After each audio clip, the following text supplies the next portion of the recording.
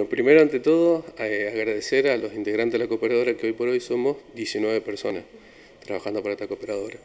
Bueno, y bueno, como se dijo, eh, nosotros hoy por hoy estamos trabajando eh, con un sistema de apoyo de, de los socios cooperadores para poder cubrir los gastos de hoy de necesidad de la comisaría. Eh, cuando uno hace una evaluación, ¿cuáles son esos proyectos más urgentes que tienen que seguramente se relacionan con lo edilicio, no? Sí, eh, lo que más dinero se ocupa hoy por hoy es mantenimiento de los móviles.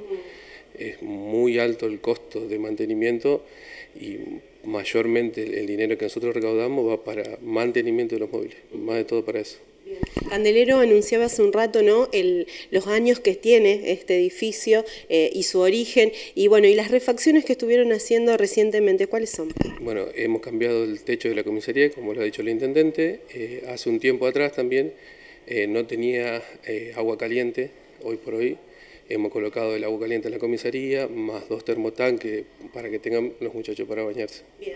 Eh, seguramente eh, satisfechos de la recepción de estos móviles que van a ayudar a la función, ¿no? Sí, sí, muy, muy, muy satisfechos. Eh, son cuatro motos nuevas, así que con eso vamos a tener un alivio por un tiempo para, para seguir mantenimiento de las cosas. Bien.